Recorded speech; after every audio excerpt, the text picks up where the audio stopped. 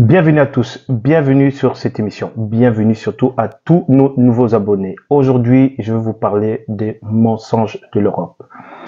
Vous allez voir que cette émission sera très intéressante, mais je pense que tout le monde sait déjà de quoi il s'agit et comment ça se passe. Mais je pensais que faire une petite émission pour relater clairement ce qui se passe, ça serait un petit peu plus intéressant. Comme d'habitude avec DJ Arafat. C'est parti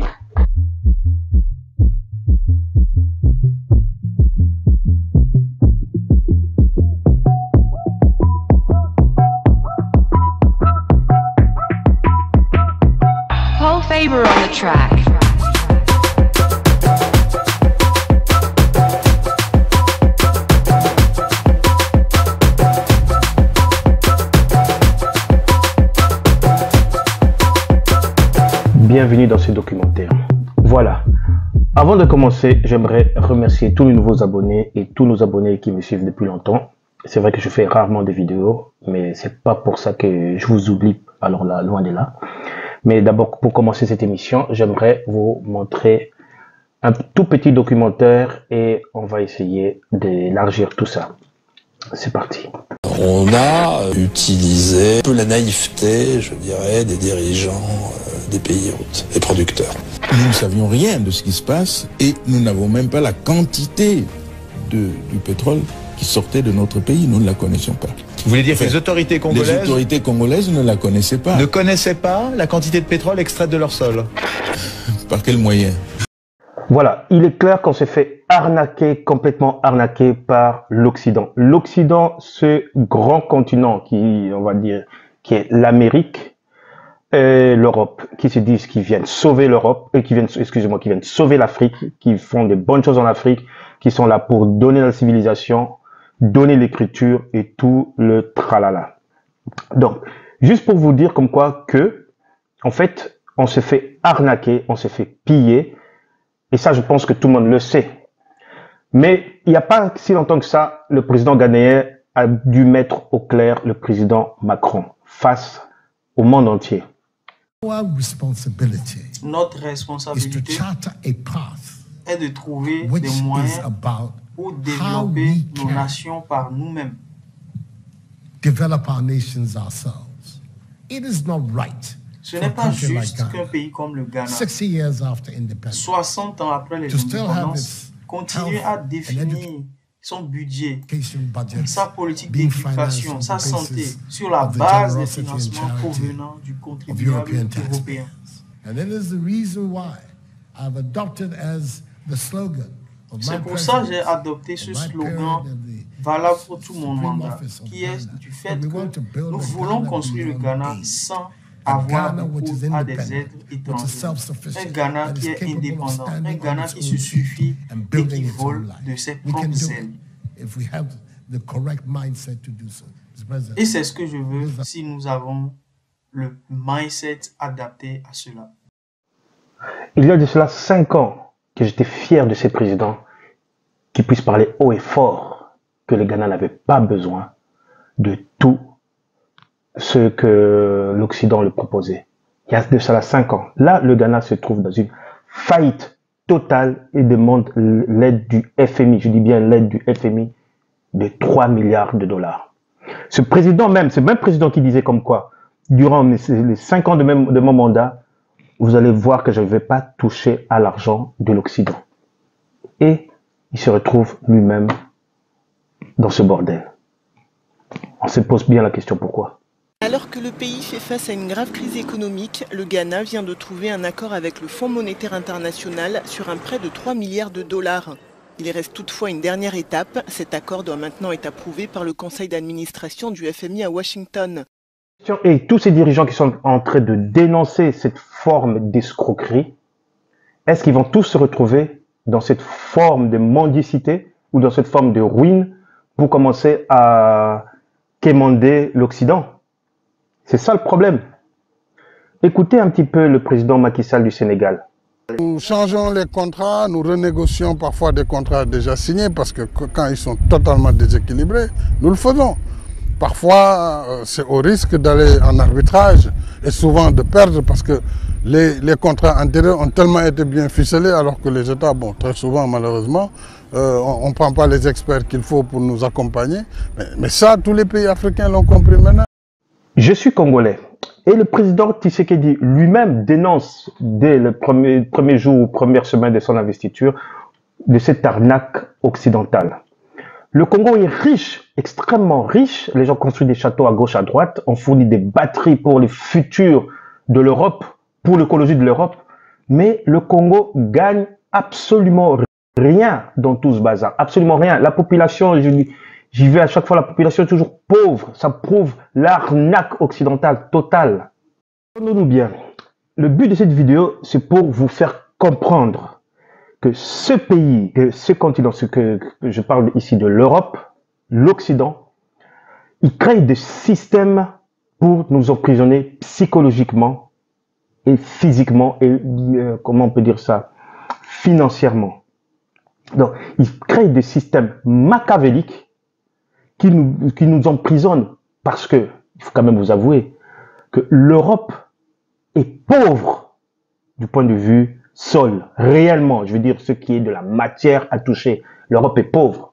Mais du point de vue illusoire, je veux dire, lorsqu'on vous accréditez vos comptes, tout ce qui est des chiffres de vos comptes, pour moi, ça c'est de l'illusion parce que s'il n'y a pas d'électricité, il n'y a plus ces chiffres. Mais l'or, euh, les diamants et tout ça dans les pays en Afrique resteront, ça restera riche. Mais l'Europe nous montre l'illusion qu'ils sont riches et crée des systèmes pour que, nous garder complètement dans l'illusion. Mais en fait, ils sont pauvres. Mais nos dirigeants qui sont complètement, entre guillemets, abrutis et qui croient à ces gens, que ces gens, ces occidentaux qui viennent chez nous pour dire qu'ils viennent nous aider, adopter nos enfants pour qu'ils après les faire transformer en LGBT ou qui, viennent chez nous fournir les armes pour qu'on se crée des guerres, qui viennent chez nous dire qu'on vient nous aider alors que c'est eux-mêmes qui foutent le bordel. Je veux dire, à un certain moment, tous ces présidents qui sont mis placés là, même s'ils viennent des loges des, Occidentaux et tout ça, doivent un petit peu réfléchir. Partenaire Nabiso, poete likamboana toyo kanana bango libela libela ekozala obele sikoyo gagnant gagnant. Vous pouvez constater dans le tableau, le Congo regorge beaucoup de richesses. vraiment, je veux dire, lorsque je dis beaucoup de richesses, c'est vraiment beaucoup de richesses. Donc, ici, en numéro 1, il y a 75 millions de tonnes de cuivre, lithium, 31 000, 30 millions de nobium, manganèse, 7, 7 millions, zinc, 7 millions, cobalt, 4 millions, fer, 1, 1 million, 450 pour les, les, les, les comment on dit ça,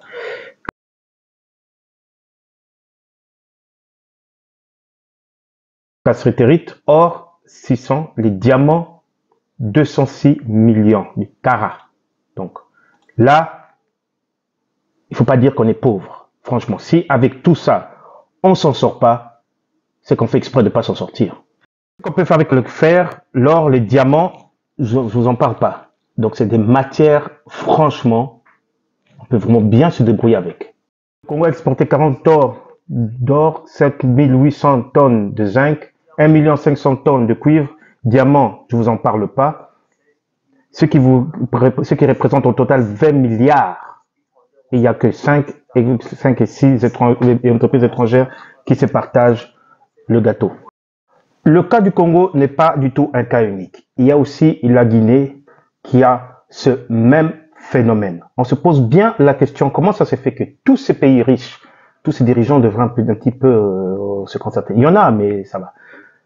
Euh, je veux dire, tous ces pays riches se trouvent dans un état de catastrophe, je veux dire, d'une catastrophe d'arnaque de l'Occident. Comment ça se fait? L'Occident, il faut savoir que l'Occident pense d'abord à lui-même. Que ce soit les Chinois, que ce soit les Russes, l'Occident, je dis, des oiseaux des mêmes plumages, sauf que les Chinois et les Russes ne nous ont pas mis en esclavage. Les Chinois sont des salopards, tout ce que vous voulez, les Russes aussi. Mais les gens qui, qui ont été très forts, qui nous ont bien massacrés, faut bien dire les champions, c'est l'Occident. Tout à l'heure, 55% des 11 millions d'habitants de la Guinée vivent avec moins de 1,25 dollars par jour.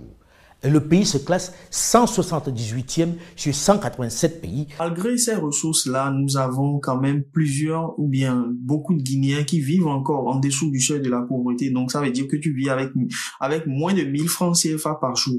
Et la Guinée est classée parmi les pays les plus pauvres du monde. On parle de 178e sur 187 pays. Donc c'est un cas extrêmement grave.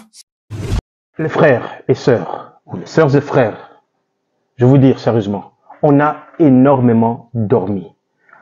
L'Afrique regorge des richesses. Il faut qu'à un certain moment, il faut se réveiller et arrêter de jouer aux esclaves ou aux imbéciles. Je me répète, arrêtons de jouer aux esclaves ou aux imbéciles.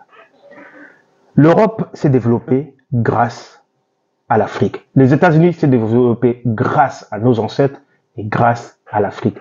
Je ne vous parle pas de tous les restes de l'Europe qui, qui aujourd'hui se développent, font du challenge grâce à l'Afrique.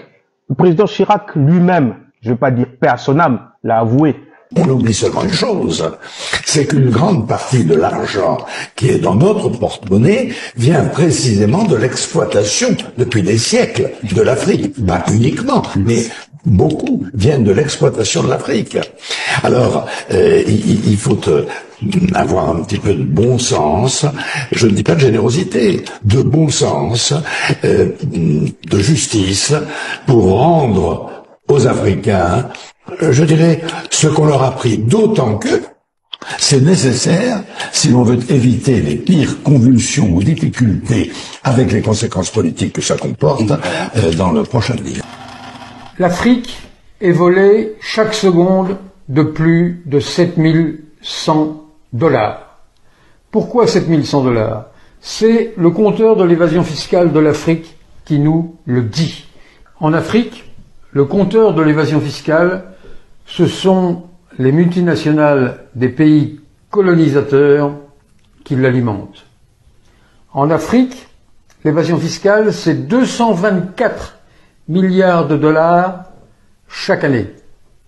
224 milliards de dollars qui s'évaporent du continent africain et qui l'empêchent de satisfaire aux besoins élémentaires du plus grand nombre.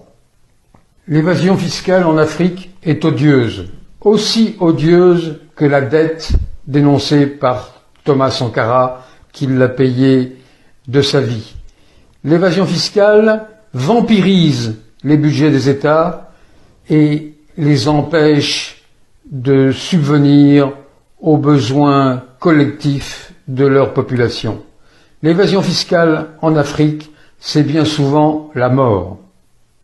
L'évasion fiscale en Afrique, c'est le énième asservissement. Le énième asservissement après l'esclavage, après la colonisation, après l'asservissement par la dette illégitime, la fameuse dette coloniale, après le pillage des ressources naturelles, après la dévastation de l'environnement, eh bien l'évasion fiscale intervient à nouveau, creuse cette dette illégitime.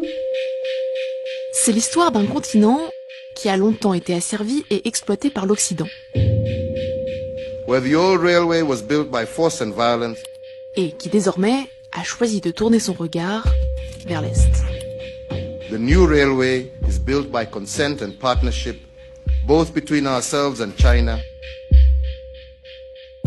60 ans après le début de la décolonisation africaine, une nouvelle donne chinoise règne en Afrique.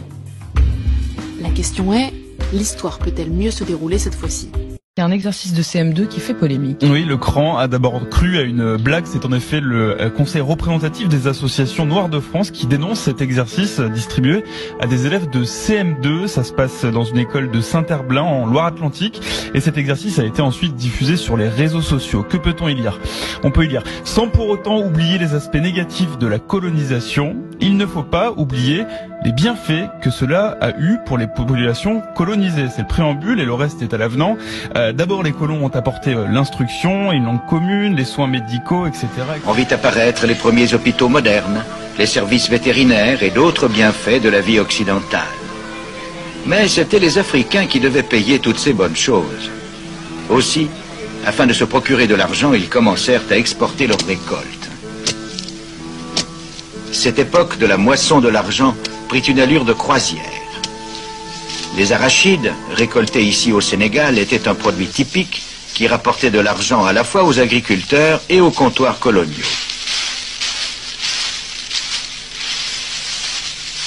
Mais par ailleurs, le succès de cette moisson de l'argent créa des problèmes. Ce qui était vrai pour l'Empire français l'était aussi pour toutes les autres colonies. Dans la côte de l'Or, le cacao était le produit qui, à lui seul, rapportait autant d'argent que toutes les exportations des colonies. Le cacao était totalement cultivé et récolté par des Africains qui devaient le vendre aux Anglais. Tous s'entendaient pour le payer un prix artificiellement bas. Les agriculteurs du Ghana, à l'époque la côte de l'Or, firent si bien qu'ils devinrent les plus grands producteurs de cacao du monde et donc de chocolat que les Africains ne consommaient pas. Voilà, ce documentaire touche à sa fin. Je ne sais pas si je me suis bien fait entendre parce que j'ai un nouveau micro et euh, on s'entend un un petit peu comme une voix, comme si j'étais un petit peu dans le dans la radio, mais je pense qu'on va s'habituer. Pour les tout nouveaux abonnés, je vous dis encore merci de vous abonner et pour tous les autres, merci encore et les autres qui viennent de me découvrir, abonnez-vous parce que cette chaîne dit des choses qui sont vraies, réelles et je suis pas là pour vous mentir et ciao, à la prochaine.